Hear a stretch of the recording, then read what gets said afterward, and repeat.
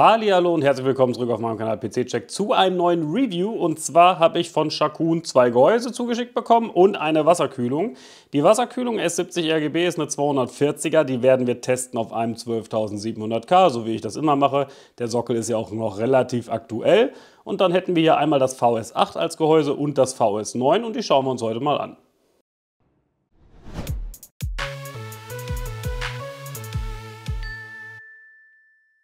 Die Wasserkühlung werde ich erstmal so standalone testen. Wir werden die mal auspacken, mal gucken, was da so drin ist, welche Sockel werden unterstützt und so weiter.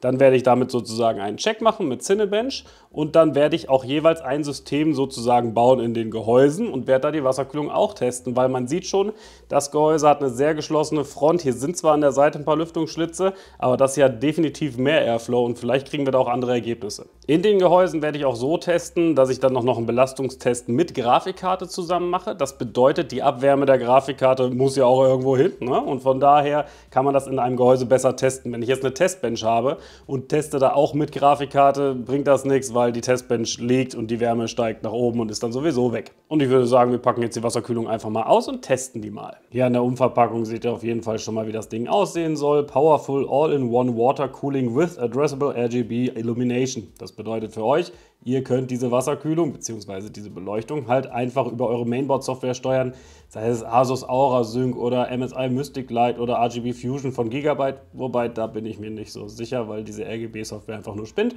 Aber ist ja egal, ihr könnt auf jeden Fall mit jeder gängigen Software diese Wasserkühlung ansteuern. Hier seht ihr jetzt halt auch die Sockel, die unterstützt werden. Wenn euch das zu schnell geht, einfach das Video stoppen. Auf jeden Fall AM5 wird unterstützt und auch eben Sockel 1700. Das sind ja die aktuellen Intel- und AMD-Sockel.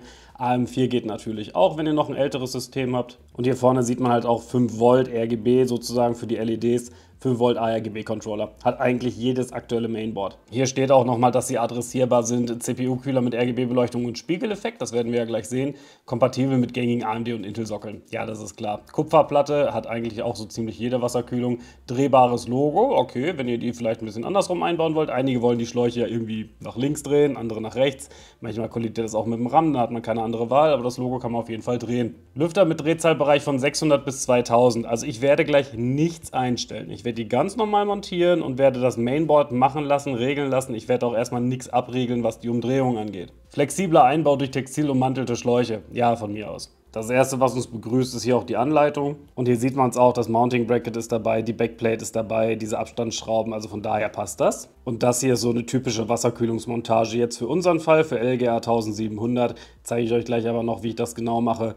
Es ist halt so ein richtiges Standard-Montagesystem, habe ich auch schon bei Endofy gesehen, bei Deepcool gesehen, von daher nichts Besonderes. Dann hätten wir hier die typischen Splitterkabel für ARGB und eben auch für die Lüfter. Das ist einfach das komplette Montageset. Das hier wäre jetzt auch so ein Lüfter. Davon haben wir zwei Stück mit so gummierten Kanten. Das heißt, die Schwingungen werden nicht ganz so krass übertragen eben auf jetzt den Radiator oder das Gehäuse. Und hier hätten wir dann den Radiator. Wo ihr jetzt die Lüfter platziert, ob oben drauf oder unten drunter, bleibt euch überlassen. Ich baue das grundsätzlich so, dass ich von unten die Lüfter dran mache und das Teil dann oben unter das Gehäuse schraube. Und jetzt weiß ich auch, was die mit spiegelnder Oberfläche meinen. Ja, die spiegelt definitiv. Die Frage, die auch ganz häufig gestellt wird, ob die Wärmeleitpaste voraufgetragen ist oder so dabei liegt. In dem Fall liegt sie dabei finde ich persönlich auch irgendwo besser. Kann man sich selber entscheiden, wie viel packt man drauf oder kann man nochmal wiederverwenden. Das Problem ist halt einfach, wenn Wärmeleitpaste irgendwie voraufgetragen ist, den montiert ihr einmal, ja, und dann müsst ihr zusehen, wo ihr Wärmeleitpaste herbekommt. Ne? Bei der Backplate war eben noch so ein Montagehinweis dabei, dass man das hier richtig einstellen soll, aber das ist so leichtgängig, das könnt ihr eigentlich gar nicht falsch einstellen. Denn im Endeffekt wird diese Backplate einfach nur hinter das Board gepackt und die Löcher, die ihr hier habt, die haben halt den passenden Abstand. Das kann man gar nicht falsch irgendwie reinfummeln.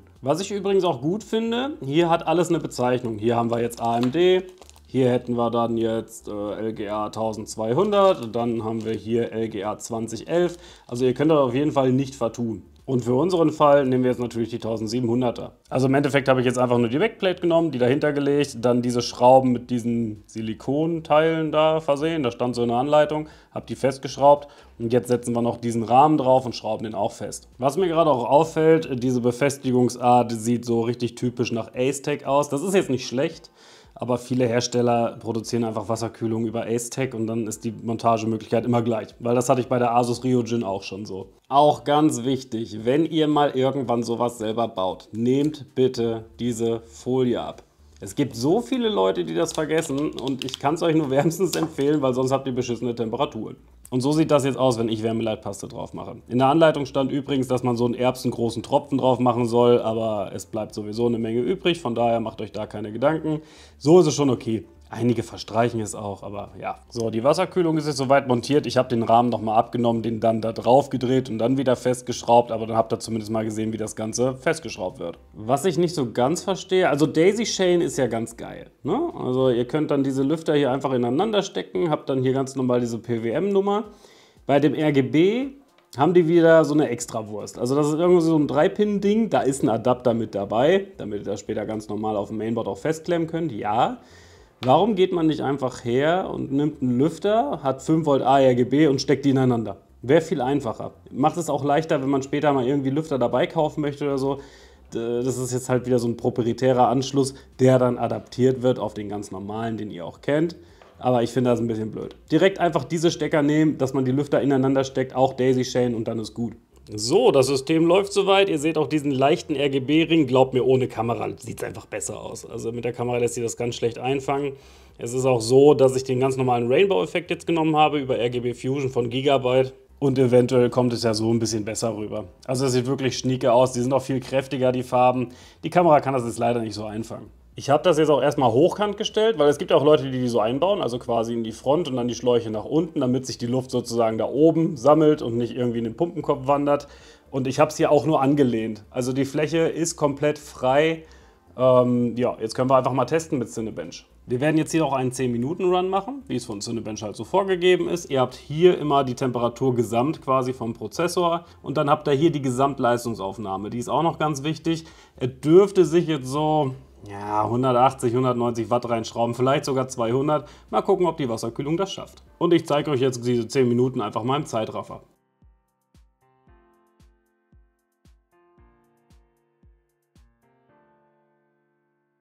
So, jetzt haben wir circa 10, 11 Minuten rum. Ihr hört vielleicht auch den Lüfter im Hintergrund von der Wasserkühlung.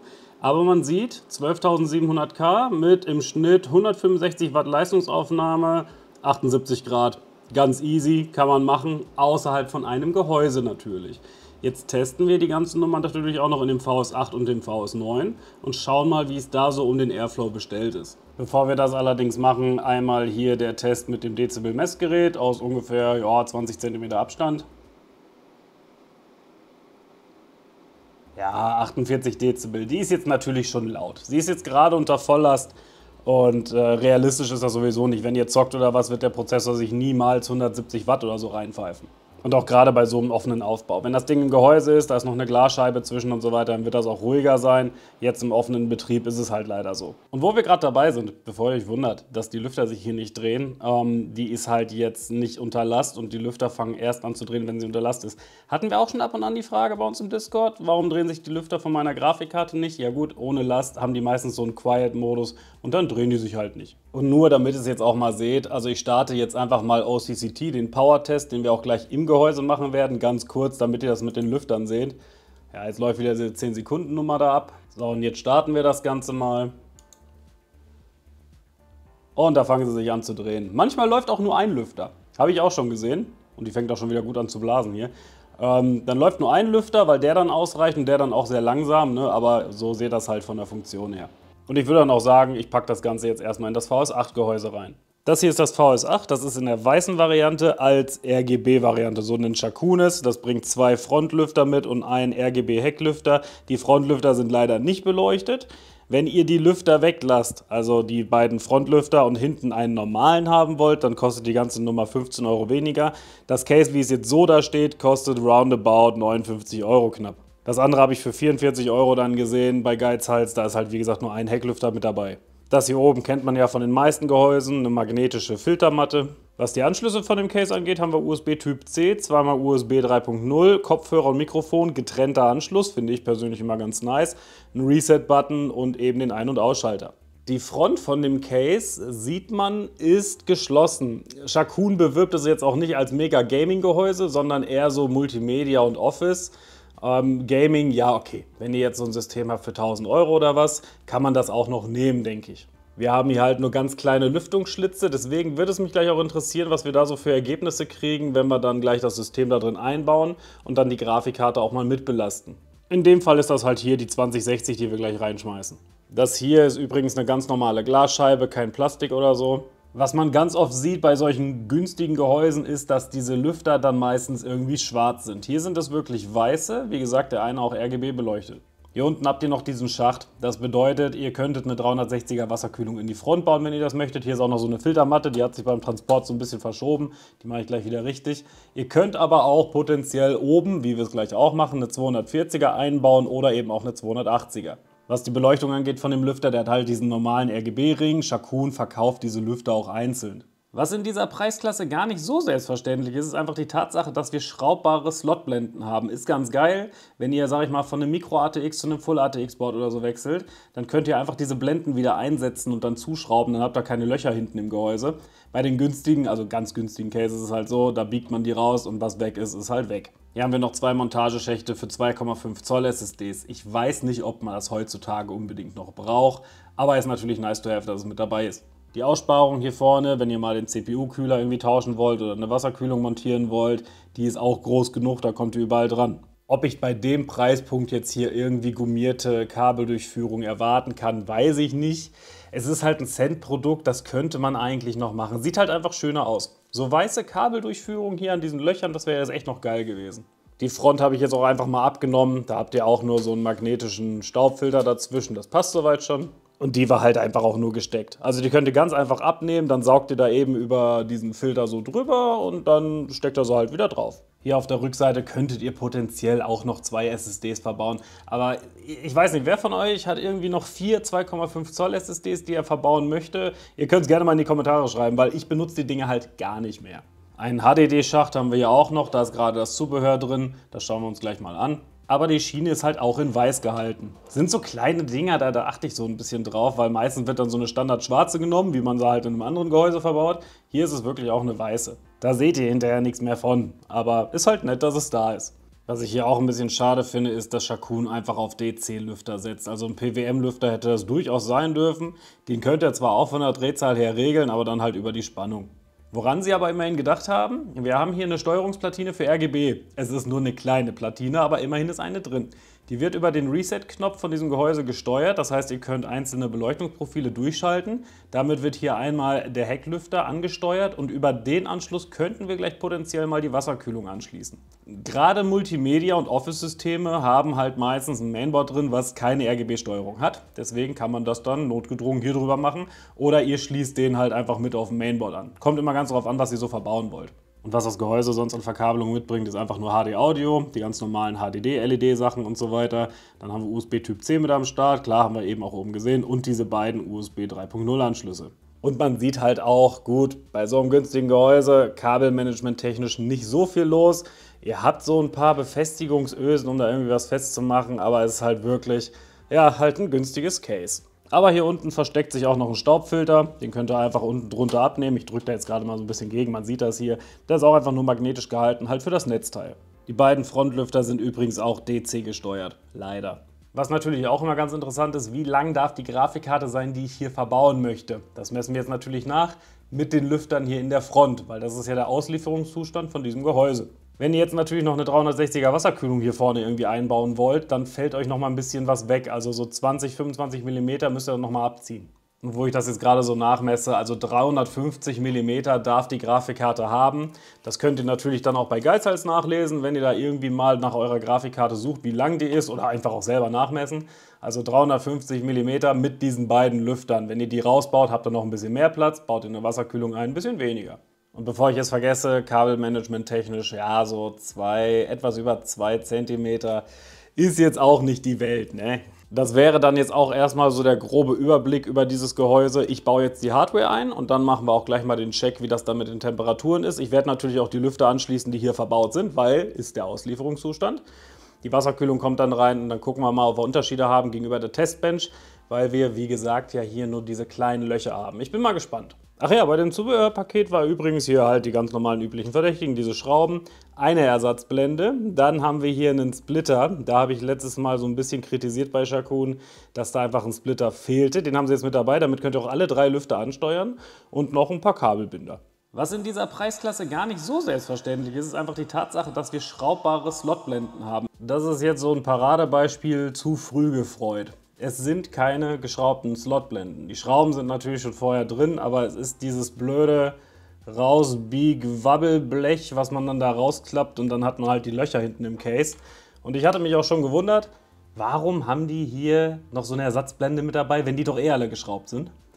Ja, jetzt weiß ich's, falls man ein Loch mal zumachen will. Aber das zweite bleibt definitiv dann immer offen. Wer jetzt gerade nicht zuordnen kann, was das zu bedeuten hat. Hier unten hat man ja noch weitere Löcher. Da kann man bei einem Full ATX-Board zum Beispiel eine WLAN-Karte oder eine Capture-Card oder irgendwas anschließen. Dann biegt man dieses Blech raus. Und wenn man dann sich irgendwann dazu entscheidet, gut, ich brauche jetzt die WLAN-Karte nicht mehr, weil ich mir womöglich ein Board mit integrierten WLAN gekauft habe, dann bleibt dieses Loch bestehen.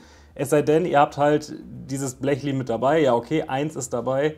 Aber ob das ausreicht, ja, ich weiß nicht. Ja, zu früh gefreut. Also ihr könntet euch jetzt aussuchen, entweder sind die Schläuche zu lang oder das Gehäuse zu kurz oder ich weiß es nicht. Auf jeden Fall die Schläuche, die haben hier so eine Biegung, dass sie halt auf die Grafikkarte drücken. Natürlich kann man den ganzen Kopf drehen, dann gehen die Schläuche einmal unten rum, dann auf der Seite rein, das Logo kann man drehen, dann ist das gelöst. Ich wollte es nur mal gezeigt haben, ist jetzt kein Weltuntergang.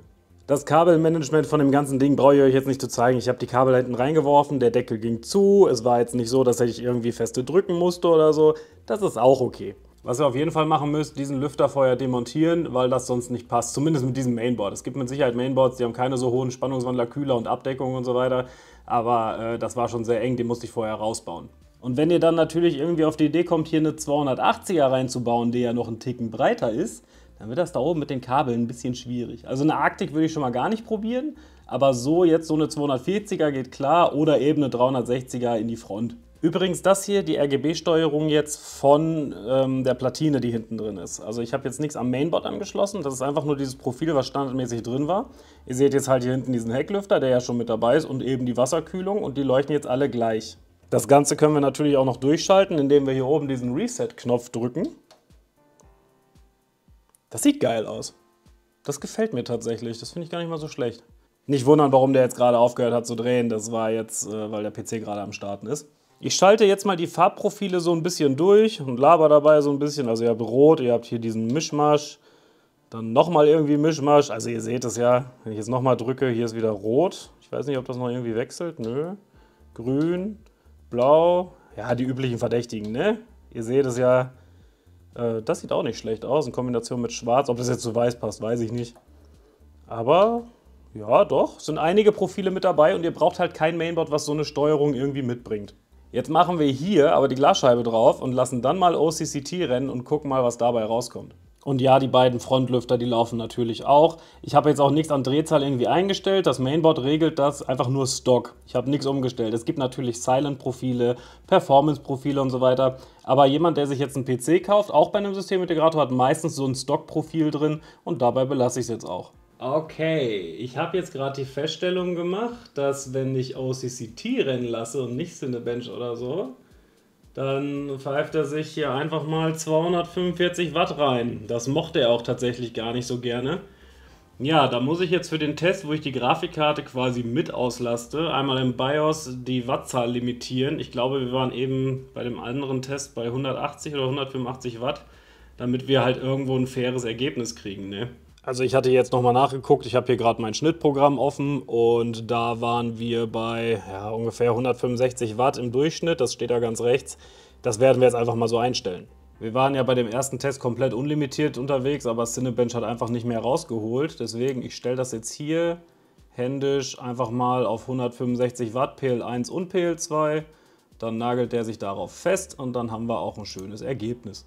So, die Einstellungen sind gemacht, Glasscheibe ist drauf, Schläuche drücken schön auf die Grafikkarte. Ja, das tut der Sache jetzt keinen Abbruch und dann starten wir jetzt mal den Test. Man sieht hier jetzt auch die Begrenzung, 165 Watt, das war ja das, was wir eben auch mit Cinebench auf der Testbench rausgeholt haben. Und dann habt ihr hier auch immer die Auslastung und dementsprechend die Temperaturen. Wir lassen das jetzt wieder 10 Minuten lang laufen und dann schauen wir uns die Ergebnisse mal an.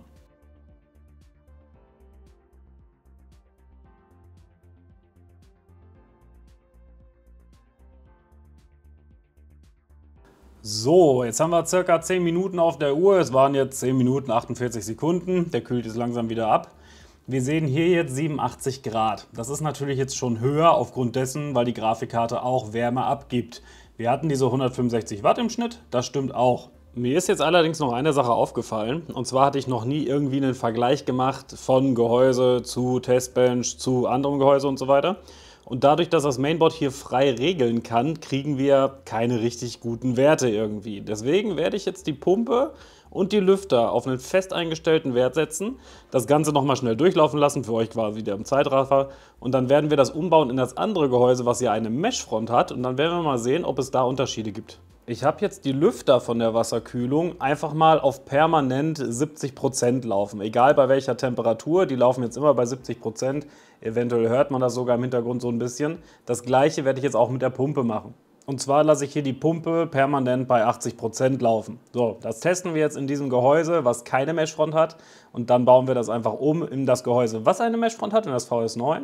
Und dann testen wir das mit den gleichen Specs nochmal. Dann haben wir wirklich einen guten Vergleichswert. Wir limitieren jetzt auf 165 Watt und dann kann man sich die Temperaturunterschiede, sofern es denn dann welche gibt, auf jeden Fall mal anschauen. Dann lassen wir das Ganze mal mit den festgelegten Werten wieder 10 Minuten rennen.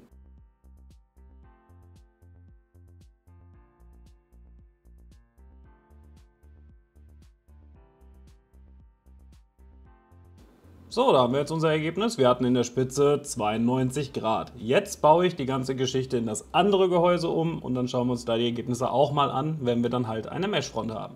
Im Übrigen ist das VS9, was wir uns jetzt angucken werden, baugleich mit dem VS8 bis eben auf die Front. Die Front bei dem weißen Case, haben wir eben gesehen, war so geschlossen mit diesen Seitenschlitzen. Und wie ich es eben auch schon gesagt habe, das VS9, das hat halt hier vorne Mesh. Deswegen schauen wir mal, ob es da einen Unterschied gibt. Wir haben auch diesen einen RGB-Lüfter da hinten drin. Wir haben in der Front die zwei Stück. Von daher ist das baugleich. So, das schwarze System steht somit auch, hat auch diese RGB-Steuerungsplatine, worüber das jetzt gesteuert wird. Wir haben die gleichen Einstellungen wie bei dem weißen System natürlich. Das hat eine ganz schlichte Front hier vorne. Man sieht ein bisschen die Beleuchtung dadurch, da seht ihr das durchschimmern. Das bedeutet, wenn ihr jetzt in der Front auch irgendwelche RGB-Lüfter hättet, würde man das auf jeden Fall sehen. Ich würde auch sagen, quatschen wir gar nicht lange rum, machen wir jetzt wieder den 10-Minuten-Test.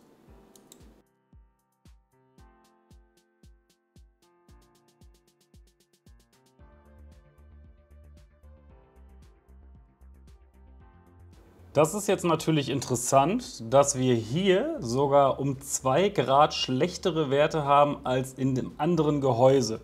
Also entweder sind die Löcher hier schlechter als bei dem anderen Case oder die Distanz zu den Lüftern ist anders. Ich kann es mir wirklich nicht erklären. Das Einzige, was ich mir irgendwie erklären könnte, wäre, der eine Lüfter sitzt ja hier und der zweite sitzt hier unten, wo überhaupt keine Luftlöcher mehr sind. Das heißt, wir kriegen jetzt nur Frischluft von einem Lüfter, der andere ist hinter dieser Verkleidung, aber ich werde daraus nicht schlau.